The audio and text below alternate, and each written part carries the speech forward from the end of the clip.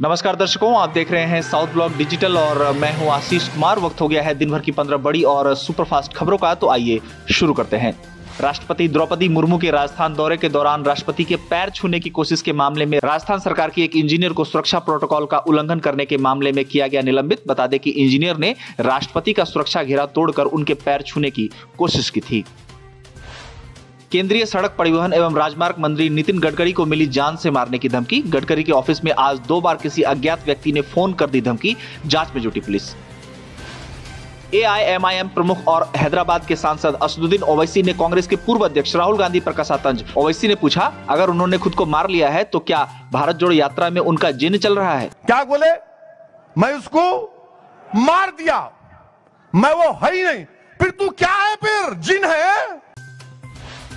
मकर संक्रांति के मौके पर पतंग उड़ाते दिखे केंद्रीय गृह मंत्री अमित शाह। अमित शाह ने देशवासियों को दी मकर संक्रांति की शुभकामनाएँ।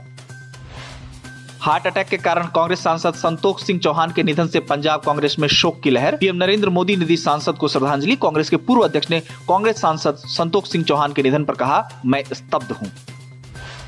पश्चिम बंगाल में मिड डे मील योजना अब केंद्र के निशाने पर। मिली जानकारी के मुताबिक निरीक्षण दल करेगा जाँच। कांग्रेस के वरिष्ठ नेता शशि थरूर ने कहा, लोकसभा चुनाव 2024 में बीजेपी के लिए 2019 की तरह जीत हासिल करना होगा नामुमकिन। थरूर का दावा, भारतीय जनता पार्टी को लोकसभा चुनाव 2024 में 50 सीटों पर मिल सकती है हार। दिल्ली के डिप्टी सीएम मनीष सिसोदिया के ऑफ़िस पर सीबीआई ने मारा छापा। सिसोदिया बोले, सीबीआई को पहले भी कुछ नहीं मिला था और अब भी कुछ नहीं मिलेगा। कश्मीर घाटी में भारी बर्फबारी के बाद फर बूट की डिमांड में हुई बढ़ोतरी। दुकानदारों के चेहरे खिले। दुकानदारों ने कहा, बर्फबारी ने हमारा फ़ायदा कराया।